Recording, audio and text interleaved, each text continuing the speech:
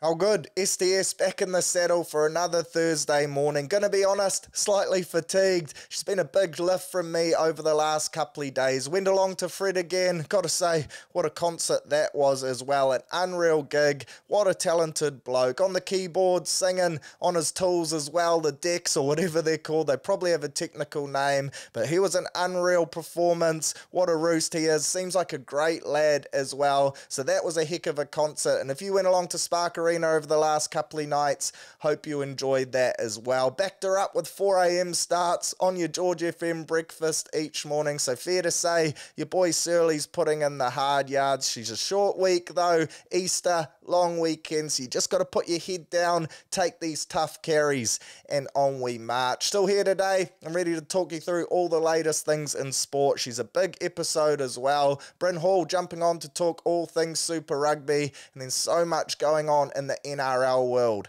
So can't wait to rip into that. Shout out to the TAB as always, headline sponsor of this podcast. And if you are having a flutter this weekend, you're having a cheeky little punt, then please make sure you download the TAB app or head along to their website www.tab.co.nz. It's the home of sport and racing punting here in New Zealand, and we really appreciate their support. But without further ado, there's plenty to get into, so let's get amongst it. Only one undefeated team remaining in the competition with the Cowboys sitting alone, the cream of the crop so far. Three wins, zero defeats, so well done to Todd Payten's lads. Then at the other end of the ladder, you got two teams that are still yet to get their first dub of the year, so tough scenes for the Titans and the Bunnies. In terms of your talking points from last week, gee, she's a bad week to be a physio. Hamstrings, fractures, brain cell depletions, injuries through the roof, star players as well, dropping like flies. I can't remember a weekend quite like it. At least 15 big names all gone. The likes of your Walsh, Walsh, Moses, Payne in the Haas, Tino Fa'asuamaleaui unfortunately did his ACL, so you can pretty much put a line through the Titans. Even tough as nails, Taine went down with concussion, so you know when he's out, it's a real Daryl Tuffey. Shout out to Albert Hopoate as well, who actually burnt his arm while cooking dinner earlier in the week, so he is unable to play. Some elite scenes there, real battler of the week stuff, but great news for the Warriors. We actually potentially welcome back three big names from last week into our 17, but more on that soon. In terms of the Panthers as well, speaking of Nathan Cleary, some good news for them. They've been confirmed as the first team to head across to Vegas in 2025. Surely the Warriors, we follow suit next. Wars in Vegas, it's just meant to be. They thought this year was elite with the fans travelling. If you want to get real bums on seats, chuck the Wars in the mixer, whether it's the World Club Challenge final or round zero. We know that the Kiwis will flock over there. Truly the best fans in the comp. So let's make that happen. I think all teams are set to be announced in the next two weeks. So keep your fingers, toes, everything crossed for that. Your big results from last week Panthers smoked the Broncos. I think everyone saw that coming, but unfortunately, Cleary, he pulled his hamster, so he's going to be out for four to six weeks. The Roosters made absolute mincemeat of their arch rivals in the Bunnies. Embarrassing scenes for the Rabbitohs. Of course, it was Jared Waerea-Hargreaves' 300th.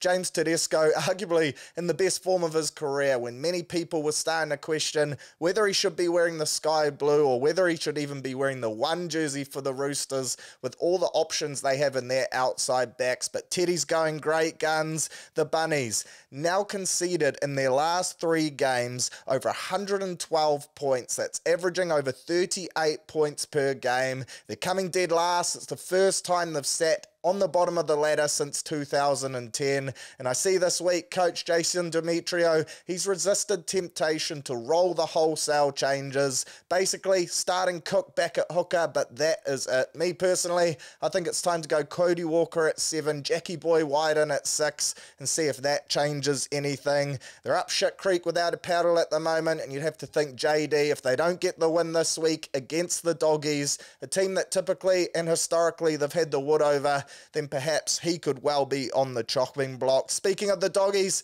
well done to them. Showed up in a major way and got a famous win. Friend of the show, Josh Curran, going great guns over there. The old mulleted menace, 32 0 against the Titans.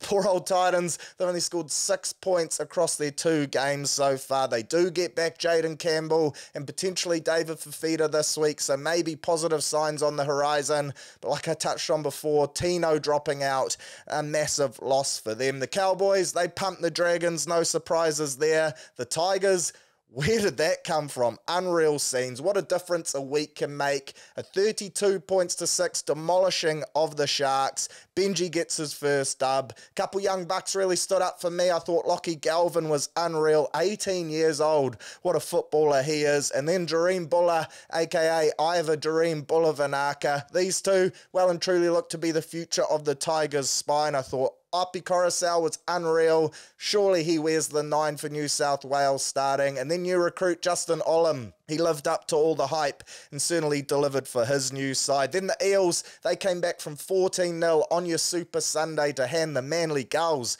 their first loss. Shout out to young centre Blaize Talagi on debut. What a first name Blaize is. That right there screams a bloke who's set to play rugby league football. He looks a handful, wearing the six jersey this week with their injury to Mitch Moses, so keen to see how he goes. But well done to the young lad. And then the Knights, they scraped home over the Storm, 14 points to 12, a Storm side without four of their biggest names. It was tough scenes for the Knights, pretty dusty code from both teams to be fair. A real poo slinger to round out the round, but it does have me excited for this week when the Warriors get to take on the Knights. Speaking Speaking of the Warriors, of course, they got their first dub of the season. Our lads, the one New Zealand Warriors, 18-10 over the Raiders, rolled down to the 0-3 in front of a sold-out crowd and got the job done. Interesting game, arguably our weakest performance out of the three so far, but like I touched on last week, the Raiders, they love to pull you into an arm wrestle. They pay that Python type of footy where they just try strangle you into a real bore fest. Not a lot of points, plenty of errors from both teams,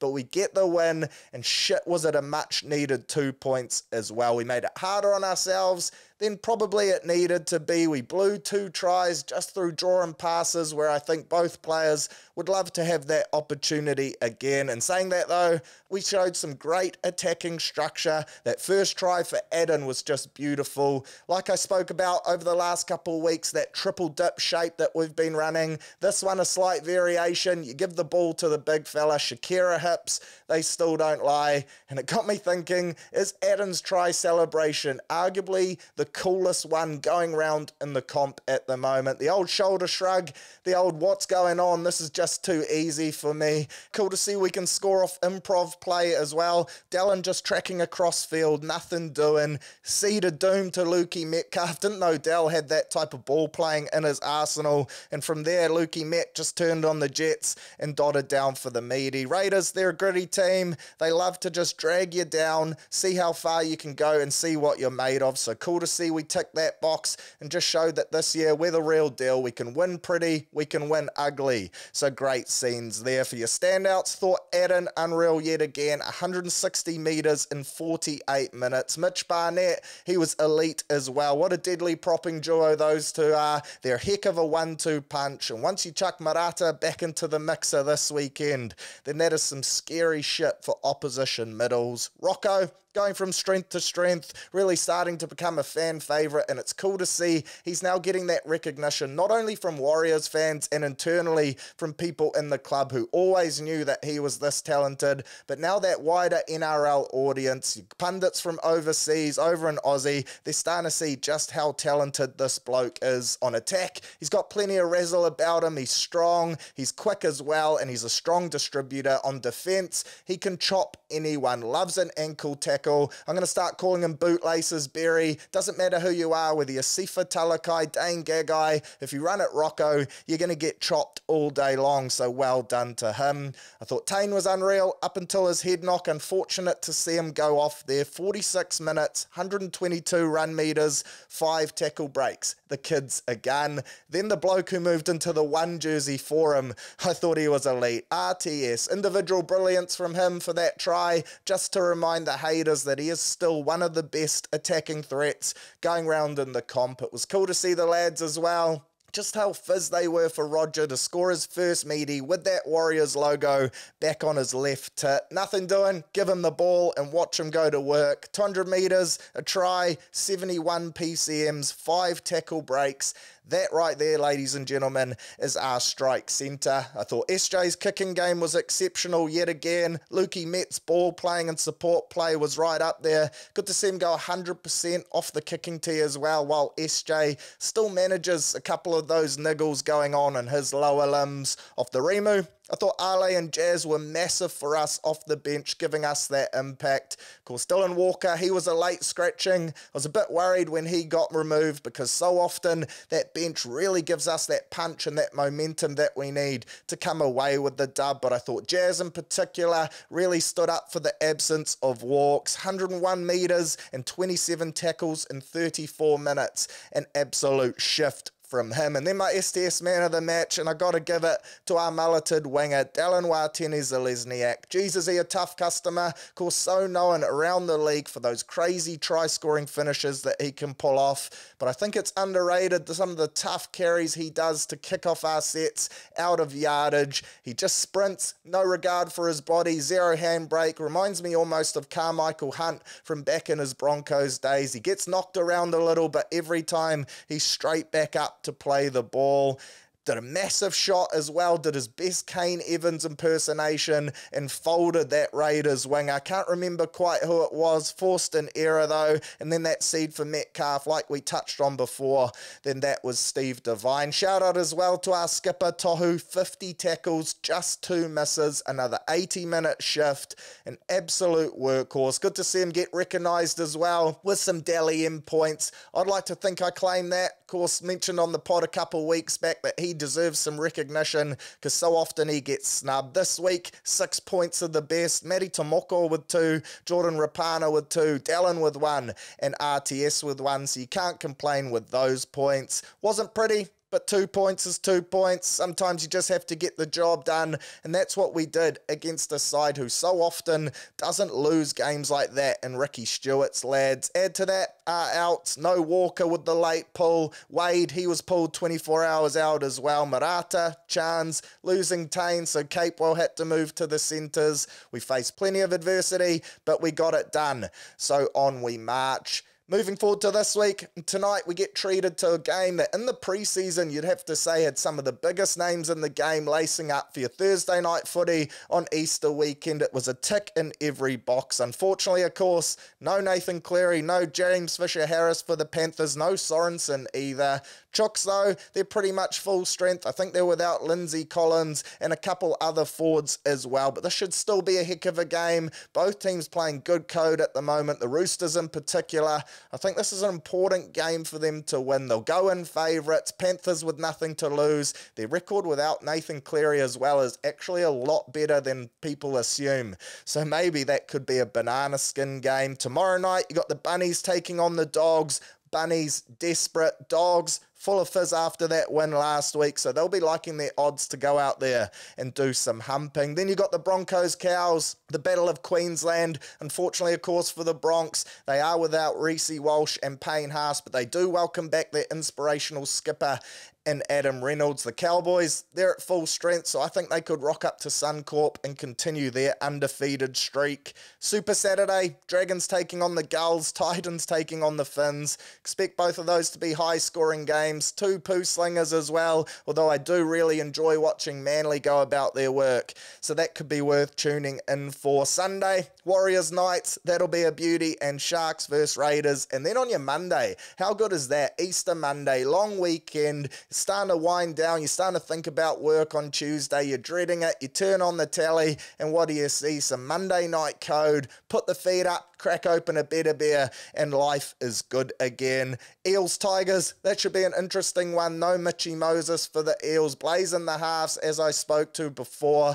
So the Tigers, they might like their odds to pull off back to back dubs, and it seems that Benji's got them full of confidence. So that will be a good watch. But of course, my STS feature match for this week, the one you all tune in to hear my thoughts on, is the Warriors taking on the Knights. Easter Sunday out at the Fortress, Go Media Stadium. Fingers crossed the sun's shining. They do have an alcohol license as well, which is always tricky around Easter. She's tough to buy your beers, can't do so on a Friday or a Sunday. But the good folks at the Warriors, they've ticked all the boxes, and you will be able to rip into a couple of Waitakere daiquiris while you watch the game. Few changes for this week. Webby, he's been able to welcome back a few troops, one injury forced, and then some big names back on deck, which is great signs for the club. You got Roger, the snack, Tuivasa-Sheck back in the one jersey. Many people have been calling for it for weeks, and I completely understand and agree with why we haven't been doing so. Taine, he's been unreal, but unfortunately, brain cell depletion, so he has to miss that 10 day mandatory stand down.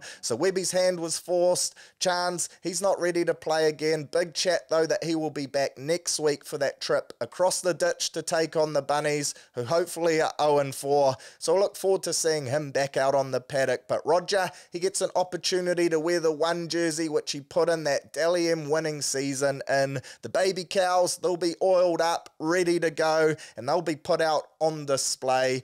Left foot Goosey, Catch you later. I expect him to be at his menacing best, and it's just going to be so good to see him get his hands on the ball a bit more with time and space, and let's see what happens. Adam Pompey, he comes back into the centres. He'll join Bootlaces Berry, wins that battle with Ali Leiataua, which a few people were surprised with as well. I think people are quick to forget, though, Adam played every game for us last year. He's a quality footballer, and I think he's going to really enjoy this opportunity to go out there and prove that he is still well and truly a first grader. Good to see Wado, CEO of Ruck Manipulation, named in the nine jersey. Fingers crossed he can get out on the paddock and play just because what he does to our attack. And I think this is a game where potentially we could really turn it on and score some points. So it'd be good to have our maestro out there pulling the strings and helping out the Prince of Penrose. Marata, welcome back, son. Recovered from that foot fracture and he is good to go.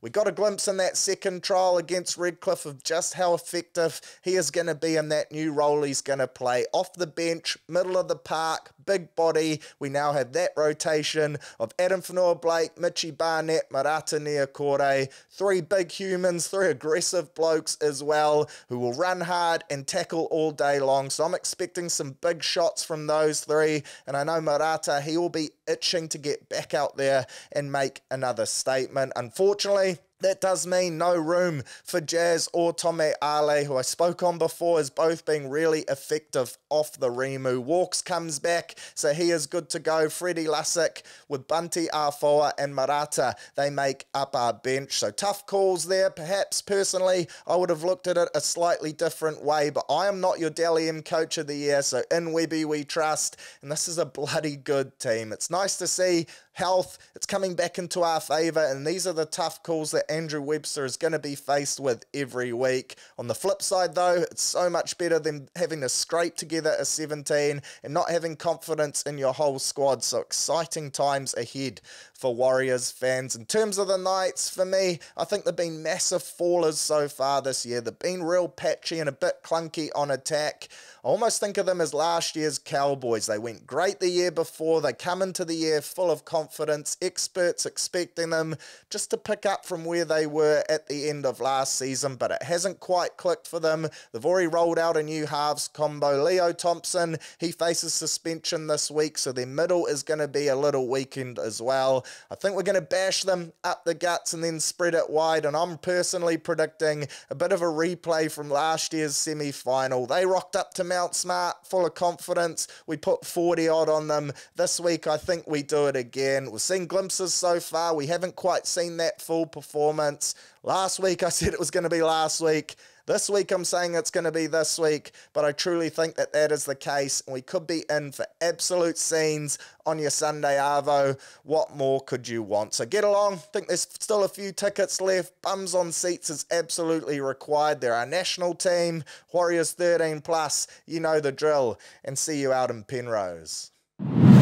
Happy days. The great man, Bryn Hall, jo- joining us from Japan, bro. First of all, how's things, lad? And I see you got a famous win on the weekend over a couple ex All Blacks as well. So life must be sitting pretty at the moment.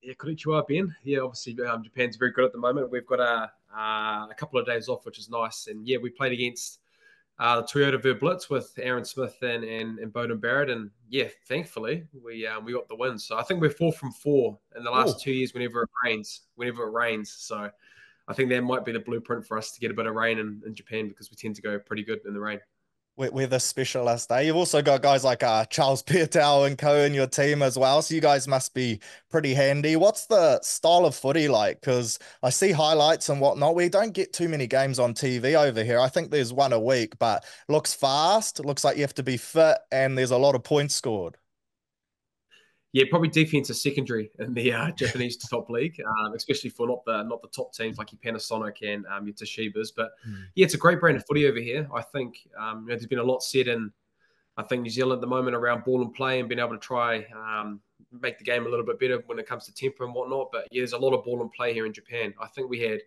our game against Toshiba uh, against Toyota was 44 minutes ball and play, which is you know a pretty big number considering it was raining as well and um, I think the level as well is getting a lot better. You see a lot of, you know, a lot of South African, Australians, New Zealanders. You know, you look at Richard Mo'unga, who's over here at the moment, who arguably could be one of the better tens floating around the world, playing in his prime over here in Japan. So, yeah, it's a great, it's a great competition, and um, you also get four or five months off if you, um, if you don't make seniors or whatnot, or even if you do, you get a good, good break. So, yeah, it's been really good for me and Sam, my, my, my partner, and um, you're looking to stay over here a few more years and, and get on the, and keep on this yin run. That's the one, bro. Gotta gotta make the hay while the sun's shining. Of course, you're still heavily invested in Super Rugby through your work with Sky, and then just because you love your code, mate. You're an absolute code pig. So I thought I'd chill, talk to you about the New Zealand teams and how they're tracking so far. We'll start with the Canes. I assume everyone probably thought I'd ask about the Crusaders first, but we'll start at the top and uh, make our way there. I'll, I'll, try warm you up a bit, but mate, undefeated. They're going great guns at the moment. They have arguably the best half back duo in the competition in terms of starting and then off the bench, maybe even in the world.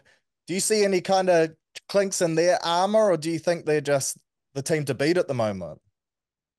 Uh, ben, I really appreciate you actually not starting with the Crusaders because I tend to do that a lot on my podcast. Ross yeah. actually right, jumps into the zero and four, zero and three, and kind of continues that with the Crusaders spiel at the moment. So I really appreciate that. Um, yeah, look, mate, the Hurricanes are are a well settled side. I actually picked them as my dark horse to, to win the competition. And I think for me, the things that you did talk around Cam Roigard and TJ Perenara, look, that um that combination I think will flourish throughout the year. And, you know, it's going to be interesting to see which way they do go with two great halfbacks. And even look at TJ on the weekend with the way he played. Look, he's going to be knocking on the door and knowing how competitive he is. But I think for that, for the for the Hurricanes team, they're pretty settled in more of so the the years that that team's been together. You look at probably their loose four trio, their tight five.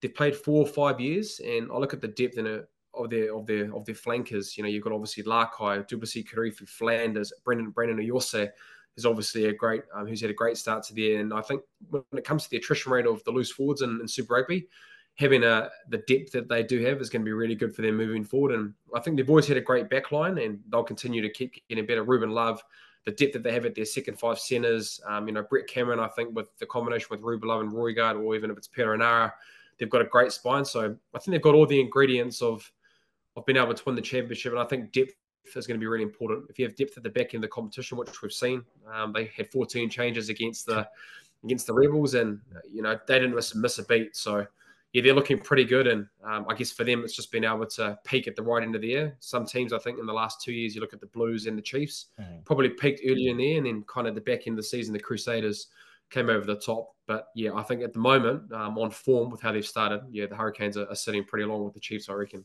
You mentioned those 14 changes on the weekend, and that was kind of the final box tick for me because so often you see like top teams roll out the changes against a side like the Rebels, who you could easily drop down to their standards. But it seems like the competition's so high for spots that if you get an opportunity and you don't play to the best of your ability, you're just not going to get another crack again. Does that kind of confirm to you even more that they're ready this year? Because they could have easily just scraped past the Rebels, but they put them to the sword yeah, I think it comes to a, any good environment when you know you you there thereabouts for the championships, having the depth, and I think the competitiveness within training. You look at you know the guys that were given opportunities and you know playing really well. So I think firstly um, having the depth in the squad that I alluded to is really important. But then you've got to go out and perform, and that comes back to what the coaches and what the players are driving within that within that within that unit and that team. So Um, injuries can always happen at the back end of the year, but like I said, their depth that they have when you can have 14 changes and bar it be a Rebels team that is struggling, um, you still got to go out there and put the performance like they did on the weekend. And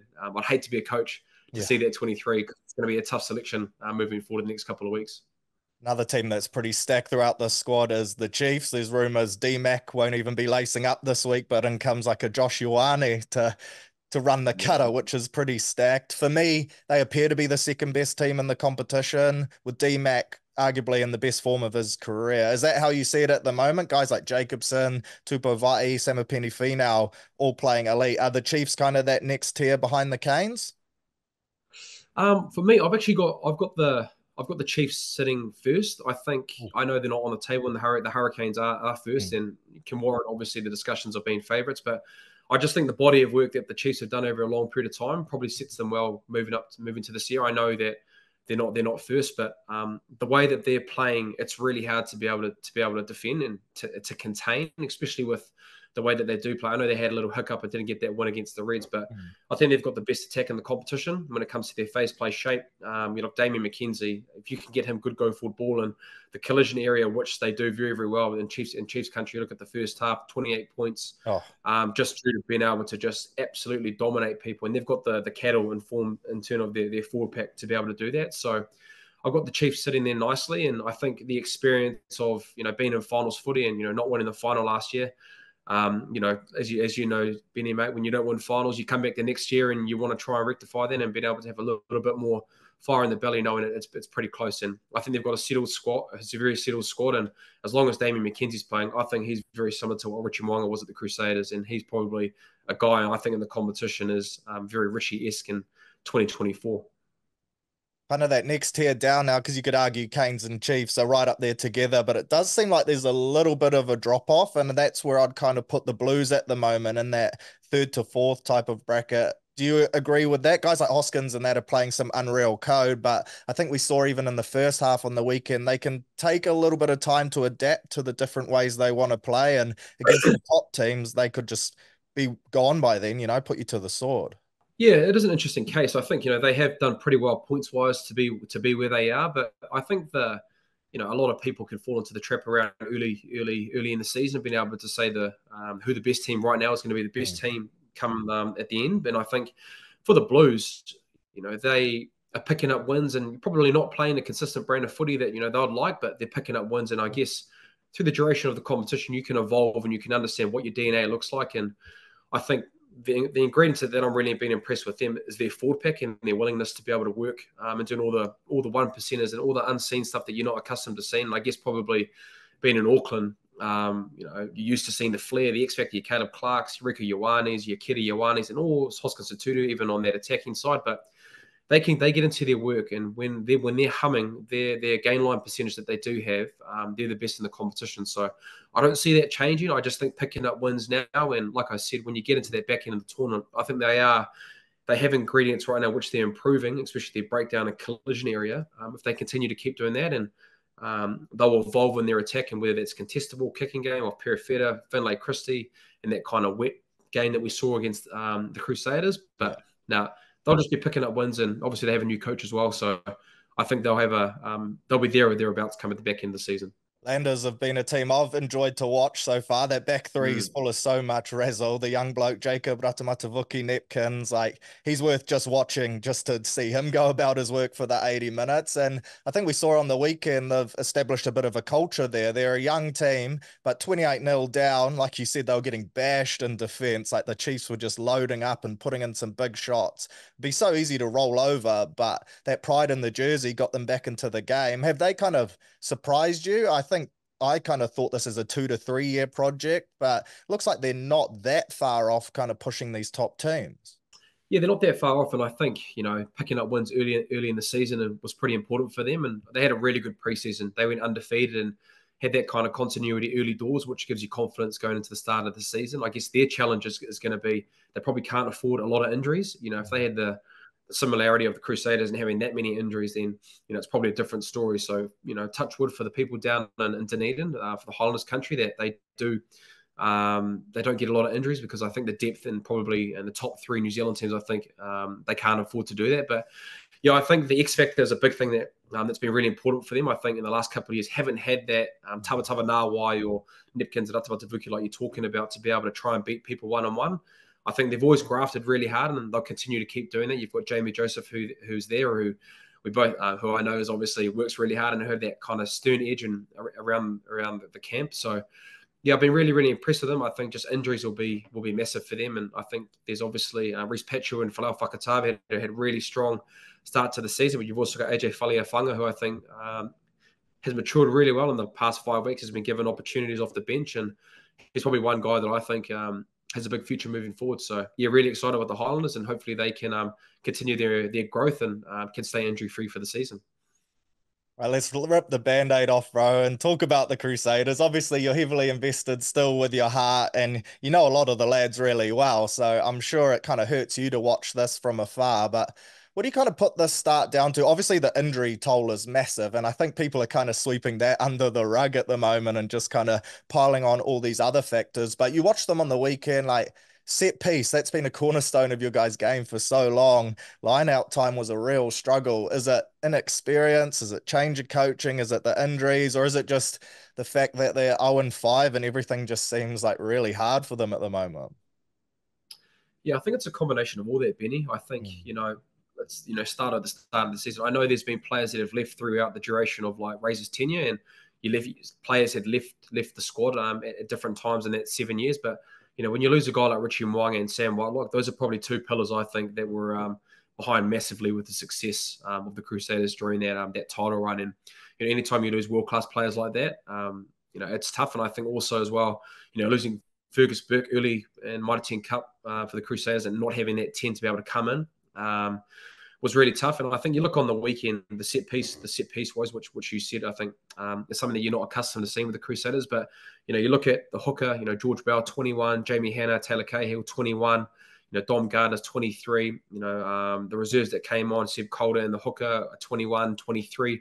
You know, so sometimes you just need that old that old man strength mm. um, and experience to be able to try and win um, the, the contact area, I think, is a, is a big part. And if you look at the top three New Zealand teams, the, the Blues, Chiefs, and Hurricanes, the gain line percentage and the physicality areas, um, they're winning them more so than not. And I think that's an area where the Crusaders are struggling. And then that's in turn going to the clunkiness in their attack, which, you know, we're not seeing them beating defenders beating a lot because, you know, that gain line area is really, really, uh, really tough at the moment. So, yeah, I think it's a baptism of fire. Unfortunately, Benny, it's really hard to say that as a Crusaders man. But you know, when you've got a lot of young guys that are in there trying to to learn learn on the job. Uh, you're probably seeing like results that they are at the moment, and I think they're picking up injuries.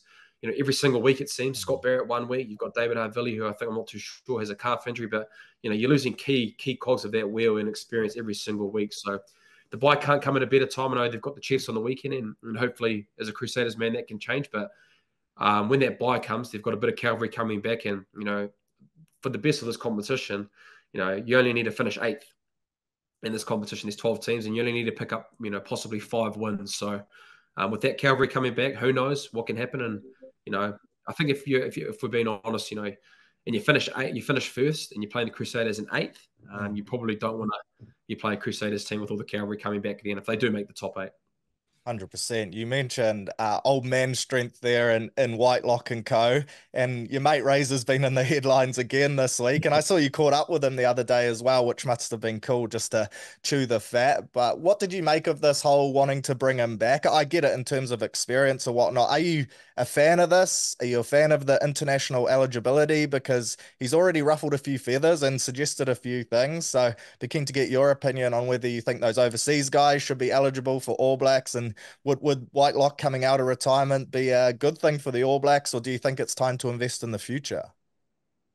Yeah, it's, it's definitely got Ray's um, DNA all over his imprints of being able to to do something like this. I just think um, just knowing what Sam can do. I know you know there's been talks around if it's good or bad, but the experience that that guy will have um, for the group is massive. And you know, whenever we were at the Crusaders, and this is going a little bit off topic, but a guy called Tim Bateman when we were there, he didn't play a lot of minutes. You know, he's not guys that were he was he's not a guy that was in the headlines consistently throughout the tenure that he was there. But mm. the stuff that he did behind the scenes with with the with the non-playing group, uh, with the management, uh, being able to keep guys engaged and being able to help them off the field, especially with the young guys, and how important that is, it led to a lot of our success, and it doesn't get talked about enough. So I know Sam can still play, and whether he wants to come back on a one or two year transition period for the World Cup to help these young locks coming through, I see it as, as a great way to do it. But then you've also got the experience if he does play, you can use him in, in, crucial moments like you saw him in that World Cup coming off the bench and being able to to close out games. So um, I'm not too sure if it's true,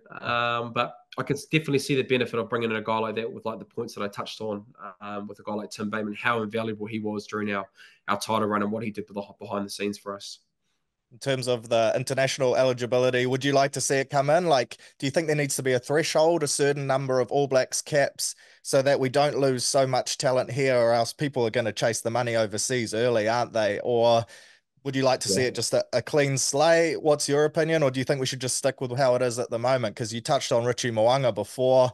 Guys like Leicester would be so good to have them in the All Blacks still.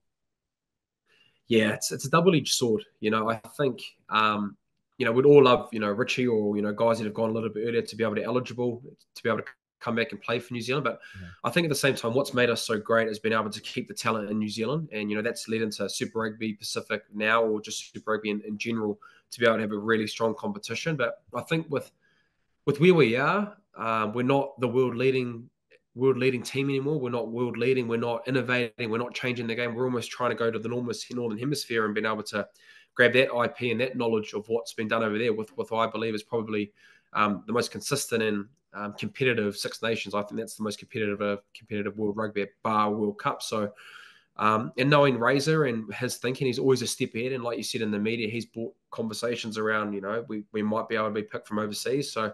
I think a Giteau law would be a good compromise if we did go that route. I think you know you need to be able to earn your stripes in New Zealand. I believe whether that's playing it's, it's playing Super Rugby and then you know a, a cap quota of 50 or 60 test matches, I think a 70 to 80 would be would be pretty good, knowing that's you know at least seven or eight years in New Zealand that you've invested into the All Black jersey and, and a lot of time at Super Rugby to give then given the chance to go and enjoy an experience like a sabbatical, like a Beauden Barrett and a Ardie Savea doing right now. But able to be able to possibly go on a three-year deal like Richie Mo'unga has and still be able to play for the All Blacks because you've reached a, you've reached a quota of certain caps of um for the All Blacks. Finally, before I let you go, bro, talking All Blacks, in terms of bolters or standouts from Super Rugby so far, has there been anyone that you think's really put their hand up and would have caught Razor's attention? Because there are quite a few vacancies there this year. It's going to look quite different to teams of the past. Yeah, it's, it's a really good one. Um, I think for me, just personally, the halfbacks is, is, is, a great debate. You know, with Aaron Smith leaving, um, there's a lot of guys, and I think a lot of – flexibility that I think Ray could go. I think, you know, you've obviously got um, Cam Roigard, who I think is the form halfback in the competition, arguably could be the best player in Super Rugby right now with the way that he's performed. Um, you've got Finlay Christie, who's obviously floated around in and around um, the last couple of years. Um, you've got Cortez Ratima and Xavier Roe with that Chiefs combination. Obviously, Xavier Roe got the start at the start of the year, but Cortez has come on really well, and I know that there's a, a lot of hype around him in New Zealand. And then you obviously got Folau Fakatava with Aaron Smith leaving. Um, he's a guy that obviously is going to be able to get a lot of a lot of time and a lot of minutes to be able to grow his uh, grow as a halfback. So the halfback ranks for me is actually a really good one um, for me. But I think lastly, one guy that's really impressed me has been Ruben Love. I think with what he's done, I know Shaun Stevenson is probably the incumbent with with Will Jordan not being out, and I think he probably deserves um, a start at, in the fullback position with knowing what he's done at Super Rugby level. But a guy like Ruben Love man, his his triple threat, his ability to be able to run, kick, pass, mm. especially his distribution under pressure, I think is pretty world class and it's something unique that he has. So he's probably one guy I think would be a bolter um, for the. I don't even know if he's going to be a bolter. I think with how way he's playing and um, a few injuries in the outside backs. So yeah, Ruben Love in the halfbacks um, has been something that I've been looking at a lot. Yeah, 100%. And then lastly, before I let you go, I said finally before, but mate, no doubt you've been in touch with old Blakey, the coat 2 0 in preseason, mate. We're, we're mimicking that kind of Highlanders form from preseason, which suggests all signs are pointing towards a championship. Are you hearing rumours over in Japan that it is actually Northcote's year and the boys will be off to Mudbrick on Monday running a Mad Monday celebration? Surely. Yeah, massively. Yeah, obviously getting the mm. getting the report every single week from Blakey, and um, he's obviously still doing the hard yards, doing the old Hamilton Hamilton bus trips in the yeah in the, in the field in the preseason. So um, you know that comes back to him as, as a coat man, obviously a leader mm. within the coat um, coat ranks. But yeah, obviously, mate, two and zero, oh, and looking forward to seeing um, the mighty coat get back to where they deserve and, um, and winning championships. So now I look forward to the weekly report from Blake and um, yourself as well. So, and I look forward to how you see how you boys go throughout the year. And uh, when you come back to visit, rumours you're going to lace up this year, not just uh, tease the boys, rock up and run the waters like you did last year. Surely you'll be ripping a few seeds out there. I might even get the start at 10 just for old time's sake if they go the sentimental route, mate. You got to do me a favour here. These would bring a lot of experience. What do we bring a lot of experience each of these days? Um, but no, I'll, I'll, be back a little bit earlier. So Ooh. last year I kind of did a six week um, Europe trip with my partner, and mm. we're not doing that this year. So no, I'd love to get back, and I think you know Blakey's there, and um, even if it's 20 minutes off the pine, mate, it'd be great to be able to put that uh, you know, golden maroon back on, mate. Would love oh. to put it on. Mate, that's enough for me. Well, really appreciate your time, Horse, especially on your day off. You could be other places out seeing the sights or enjoying some of the local cuisine, but you're here spinning some shans with Searley, mate. So really appreciate it. And uh, good luck for the rest of your season as well, bro. Hopefully that uh, undefeated in the rain streak can can march on and you'll go better than your old team, the Crusaders. Had to get a parting jab in there, mate, but go well. I appreciate it, Benny. Always a pleasure. Thanks, mate. Punting chat time now, where of course we open up the TAB app, we jump on their website, and we search for some options that'll give us green ticks on our bet slips this weekend. In your NRL, plenty of juicy options to get on your promos, your power plays, your boosts. So make sure you head along to the Punters Lounge to check all the promotions that are available. Same game claims, your Oval Ball Mega Multi Busters, your Searley Talk Sports Boost. You'll find it all there. So sink your teeth in tonight. Chooks versus Panthers. Chooks go in $1.60 favourites, and fair enough too. Some interesting stats though. The Panthers have won their last eight games against the Roosters, but the Roosters in return have won seven of their past nine games at home. For your try scorers, Domi Young, he scored a try in five of his last six games. And James Tedesco, he scored a double last week and has scored in three of his last four home games against the Panthers. So for me, I like the Chooks to win this one in a tight one, and I think a good same game claim here would be Domi Young, and then I'm chucking in Turuva from the Panthers. He scored eight tries in his last seven games. The Panthers, they're going to score a meaty, so fingers crossed it's the young Fijian flyer. Bunnies, Dogs, Bunnies, they'll be desperate, but the stats certainly suggest that they could be in for a win. They've won their last five straight against the Doggies. The Rabbitohs have also scored 30 plus plus points in all five of those games. Interestingly enough, as well, AJ we all know he loves a media. He scored two or more tries in his last three games against them. He's paying $1.72 anytime. He's paying $4.35 for two or more. So a bit of jam around that. Then, if you want to really get Ivan Leary, in three out of South's last five games, the opposition starting left wing has been the first try scorer. So, if you rack that up, you run across the team sheets, then that suggests that Connor Tracey from the Bulldogs could well be a good chance to score your first meaty. 13 bucks, real a specialist stat there, one for the sickos, but there could be some jam and some real value. Battle of Queensland, Bronx taking on the Cows. I like the Cows here to get the win at $1.79. They're aiming for their first 4-0 start of the season since 2007.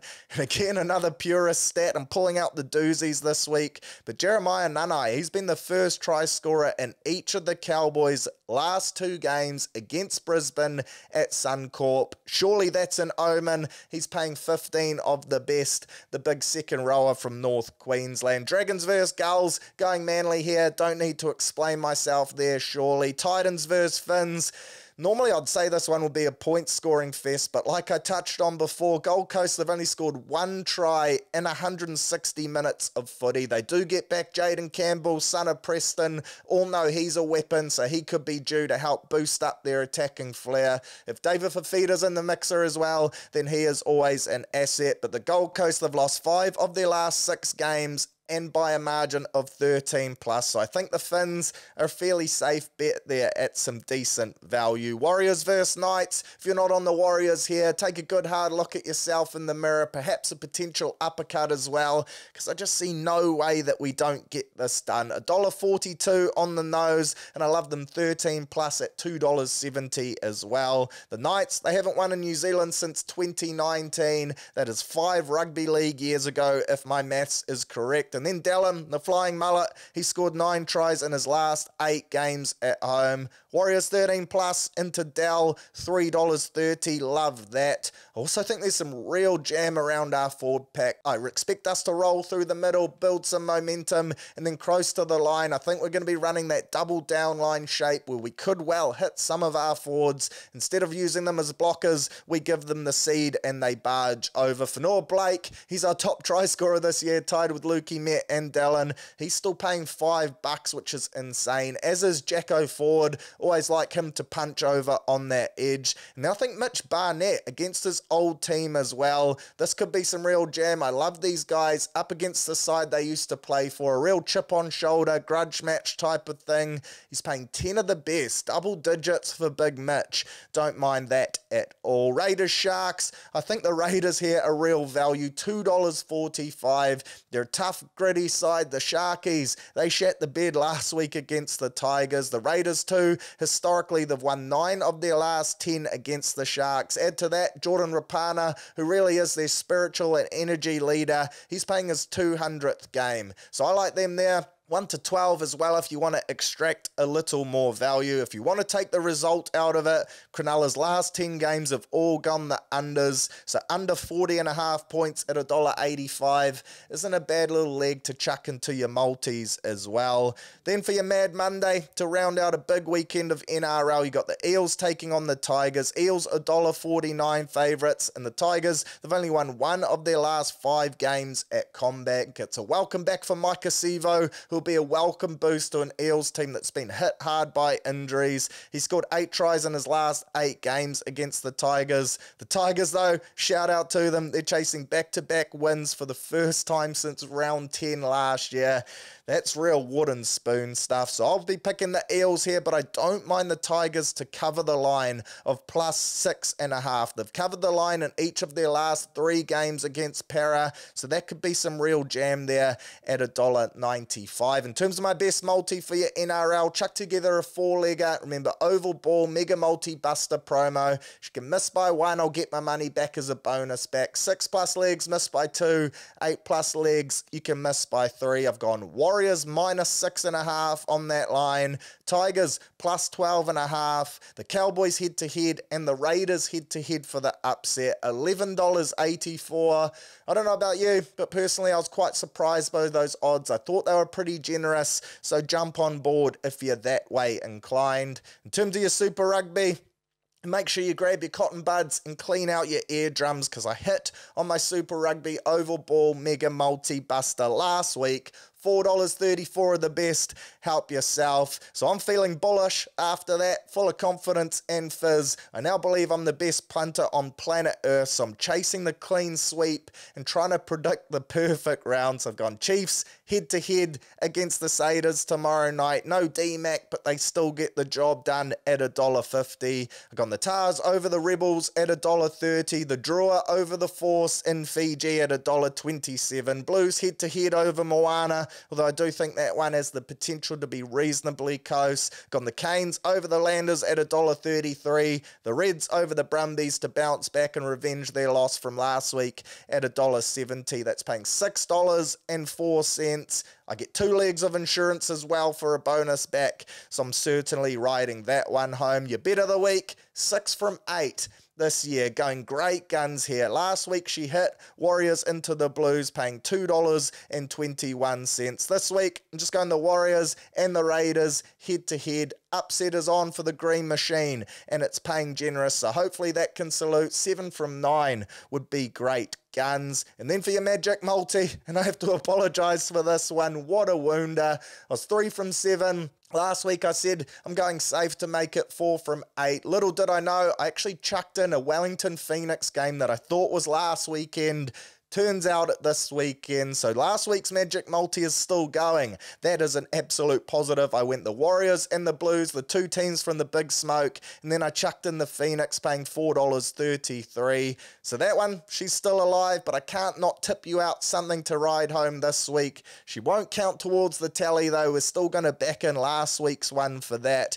But I do like Warriors 13 plus, and I like the Houston Rockets today to beat the Oklahoma City Thunder in your NBA. Day. I'm a big Thunder fan personally. They're probably my second or third favourite team. Do have a soft spot for the Rockets as well. They're missing Sengun, but they've won their last nine games straight, and they're playing some great ball at the moment on a real rich vein of form, and they're paying $3.15 on the road, which I thought was true overs. So jump on them, multi that up with the Raiders as well. You're going to get $20.83 if you're keen for a little lick on your Magic multi. But shout out again to the TAB, home of sporting racing punting here in New Zealand. So get around them. Battler of the Week, brought to you, of course, by our partners at Better Beer. It's the best beer in all of the land. As the name would suggest, it's better than any other beer in planet Earth. It's got zero carbs, none of this low carb stuff, absolutely none, which makes it a great beer for a day session. So if you're looking for something to sink your teeth into this weekend while you're watching the sport, then I'd recommend you grab yourself a box. They come in the bottles or the cans, and it's always a day for it whenever you're ripping into a couple of better beers. So get amongst it and shout out again to them. This week there are a couple nominations. I mentioned before Albert Hopoate burning his arm, not able to play. Similar to that Cam Munster story we heard a couple weeks back. Interesting to note, old Mad Dog Munster, he's talking now that he may not be back at all this year. He's saying it's really touch and go, so the poor bloke is still battling.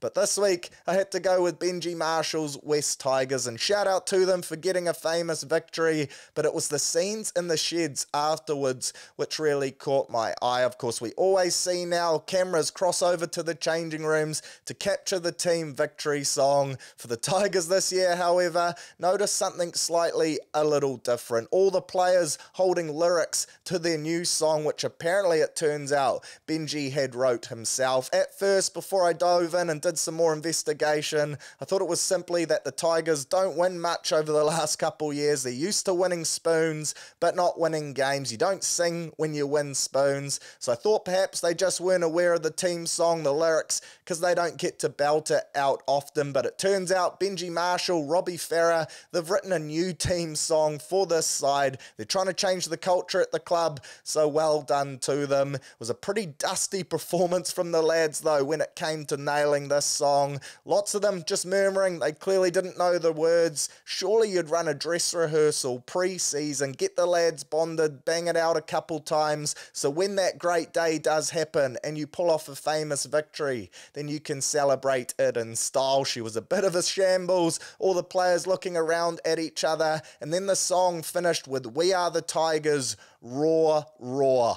Now that is pretty lame. I love you, Benji, mate, but surely you've got some better lyrics in you than that. I have to say, him rocking up at the press conference post game in a suit was pure class. It shows the bloke, he's just there to clock in, clock out, really was a business trip and come away with the dub. But shout out to the Tigers. Hopefully, by the end of the season, you'll be more familiar, more acquainted with that team song and really have nailed down the lyrics. But the fact have to print them out to hand them round the sheds post the famous win really just does take some of the gloss off the victory. If that was the mighty coat, all the newbies would know that song already from day one, and they would be raring to rip into it with a couple better beers in hand. So shout out to Benji and the Tigers, and like I said, hopefully the first of many dubs this year, and you guys can really get familiar with that song. So you're our Better Beer Battlers of the Week for this week on your lads, and hopefully you enjoy a few tins yourself. Q&A time now before I wrap her up and send you on your merry way. Again, this segment continues to be very popular and really appreciate all your questions. If you follow on Instagram, chuck them in my Instagram story on your Wednesdays when I chuck up that question box. Otherwise, if you're watching along on YouTube, just chuck them in the comments and I'll be sure to get to those as well. The first one from MC Breakfast and he says, Can the Crusaders upset the Chiefs this weekend? Yeah, look, it's tough times. Not many Rob Pennies He's now lost 10 straight on the bounce. Listening to Bryn Hall talk there, he's starting to lose a bit of faith. He's thinking that guy, when guys like Fergus Burke, your Barretts, your Blackadders and co, once they come back into the mixer, then that will be their time to shine. And saying that though, we saw just a couple weeks ago when the Canes went down to Christchurch, they got into a real arm wrestle and they were probably quite fortunate to come away with the win there. So the Crusaders at home, you'd have to be stupid to completely put a line through them, especially considering DMAC won't be lacing up. They're definitely outsiders. A lot will have to go their way. They just look so different of a football side to what we've seen over the last couple years. In all honesty, I think they lose tomorrow night. Then they get that bye that week off, a chance to go soul searching, get a bit of confidence back, and then after that, they head over to Sydney to take on the Tahs. Then they take on the Force. One of those two games they will well and truly be targeting. But look, tough time for Crusaders fans. Still don't feel sorry for you though. You've won so much over the last couple years that it's nice to see you go through just a little bit of pain. NZ Warriors faithful, Sticking to your rugby, he says thoughts on NPC not being televised in 2026. Yeah, this is massive. I think the story came out late last week saying that potentially there hadn't been a new TV rights deal done with NPC and that maybe Sky Sport won't be continuing their coverage of the competition from then on out. If this is the case, then I'm well and truly off it. If you've been listening to this pod for a long time, you know I'm a massive fan of the NPC. Like I always say, without the roots, there is no tree you got club footy, it feeds into NPC, then your super and your All Blacks. Club and NPC, they're arguably the most important for me. I love watching your NPC code, whether it's the mighty North Harbour or just watching any game that's on in general. This is where you get to see some of that young talent coming through the competition. You can spot them out. Then in a couple years' time, when they're playing in the super sides, playing for the All Blacks, you can say you were a day winner and you spotted them early doors. Real talent scout type of stuff. So fingers crossed this isn't the case. In Sky Sport, they can front up with a bit of coin to help keep this competition alive because by all means, financially, it's already struggling. And this would probably be the dagger through the heart that could potentially end it.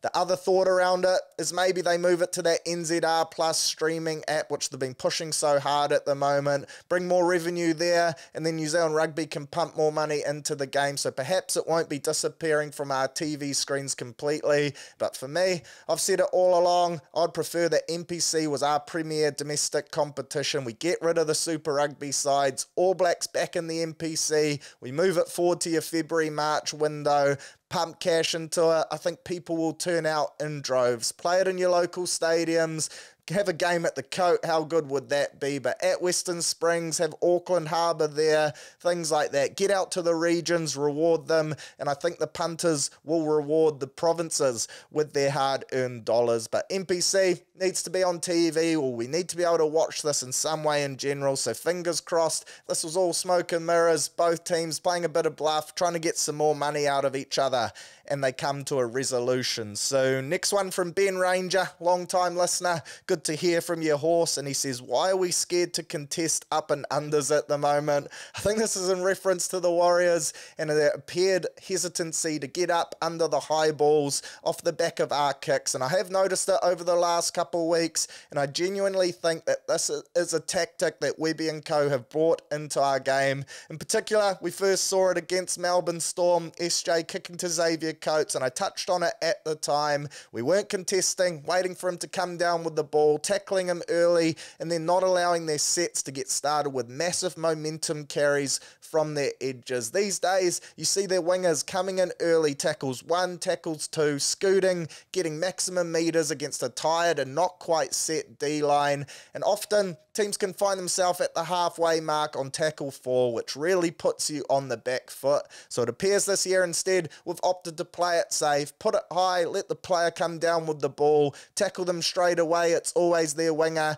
Then the opposition winger side, he'll make a carry, but after that, you're getting into your centres, your middle forwards who perhaps under a bit more fatigue and not quite as effective in eating up the meters. So I genuinely think this is a tactic from Webby and our kickers there were times on the weekend, though, where I will say I thought we could have got up to contest a couple. It is a reasonably low percentage play. You do run the risk of knocking the ball on, allowing them to start off the back of a play the ball or a scrum, and they can get into their set structure and really plan out their attack. So I see both sides of the story. At the moment, though, I believe it's working. I would like to see us go up for it every so often if we're a genuine chance to pull off the old tap back. And then finally, Corey Parker says, Is Tom Ale a better option off the bench than Bunty Afoa? I mentioned Tom Ale and Jazz. I thought they were unlucky to miss out this week. Bunty, though, to his credit, he's been playing really well this year. He looks re energized. He's carrying hard like he always does.